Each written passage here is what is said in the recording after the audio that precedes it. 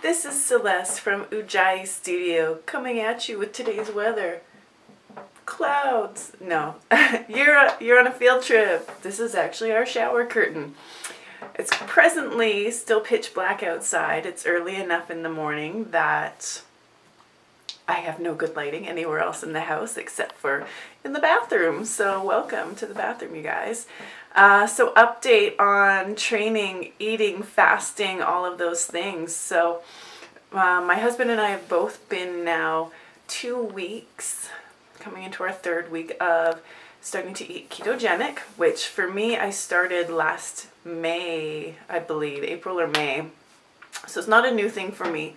Um, although it's been really challenging to try to fine tune things again.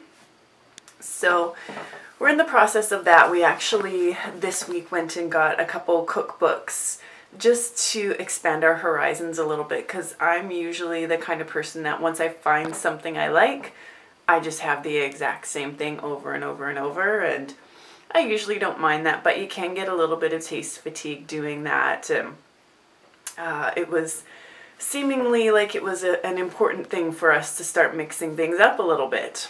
So that's what we did this week. We've made now one recipe for stuffed peppers out of that keto book and they were wonderful. So that wasn't really nice to have that little change. Um, as for training, I'm now today, as soon as I'm done this, actually starting week three of our foundation series. Uh, I usually fit in, the first week I fit in actually six uh, weight training days out of, well, you're supposed to do three. I did six. You can do as many as you want, really. Uh, within reason, that is. You wouldn't want to do two times a day of the same thing. Uh, last week, I believe I got four days in. What I'm really noticing now that my schedule is back in full swing it is very challenging for me to find the time and the energy to just be able to get a workout in and I've been having to do it in less than optimal ways basically. You know, I, I'd love to be able to do my morning, get up, go to the gym, do my cardio, everything like that. And it's not always possible for me uh, if I'm working until 8.30, 9 o'clock at night it's very unlikely for me to be able to get up at you know quarter after four in the morning to go to the gym. So quite often what i have to do is in between teaching classes uh, i'll be using a gym at one of the community centers i teach at and it's worked out all right. Um, i just go in and i know exactly what i have to do. No mucking about in out have a quick bite to eat, know, my salad for lunch, whatever it is, and then back to teaching classes. So the exercise has been happening. Um, changes are still happening. So, for example, on Sunday, Sundays are my check in days. I was down about another half pound. I was on schedule to do a little bit more than that, but then Sunday ended up being a really emotional day. Um, and I still am a bit of an emotional eater, so I will admit that on Sunday I was not a keto person. I ate a Rice Krispie square and it was very yummy, but interesting fact, even today is Tuesday morning.